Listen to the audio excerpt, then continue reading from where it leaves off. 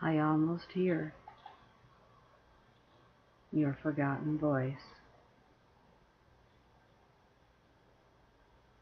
as tides